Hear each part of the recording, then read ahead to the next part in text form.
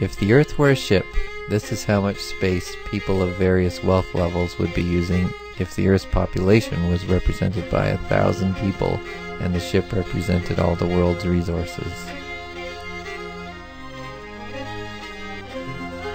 In case you missed him, he's right there. It's quite a run to get from one end of his staterooms to the other. He only talks to himself and is slowly losing his mind. He's fairly scared of everyone else on the boat, worried that they can see how much he has, so he maintains a robot army called the Monetary System to protect his interests. Most of these guys work for that guy in the red area and help maintain the robot army, and they get the best rooms next to his.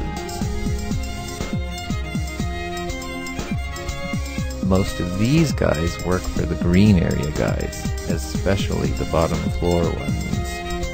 They also keep the ship running and take care of the purple guys as best they can, but the red guy keeps taking their stuff.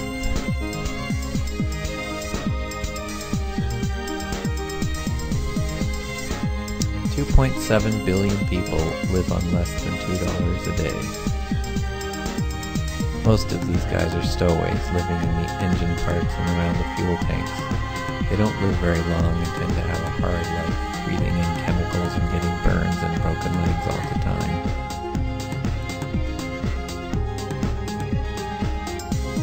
As you can see, there's actually plenty of room for everyone, but the red guy is hogging far too much for himself, and his robot army makes it impossible to move in on his territory.